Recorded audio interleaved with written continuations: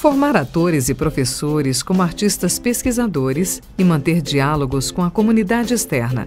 Estas são marcas do curso superior de teatro da UFO. Criada na década de 90, a graduação surgiu como uma habilitação da educação artística. Em 2008, o curso passa a formar bacharéis e licenciados em teatro. O teatro é uma arte coletiva em que o artista atua em manifestações cênicas de maneira criativa, responsável e ética, além de ser capaz de produzir seus próprios espetáculos.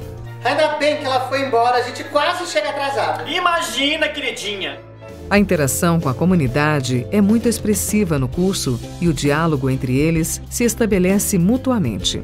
Há eventos e projetos contínuos gratuitos, como o Comufo, que promovem esse contato. No campo da pedagogia do teatro, acontecem os fóruns mensais, espaços de construção de diálogo horizontal com professores da rede escolar, além dos estudantes realizarem atividades nas dependências das escolas básicas da cidade. O curso ainda conta com diversos laboratórios que articulam ensino, pesquisa e extensão para uma boa formação profissional dos estudantes. Um diferencial do curso é a equipe técnica qualificada, formada por iluminadora, coreógrafa, figurinista, costureira, técnico audiovisual, entre outros.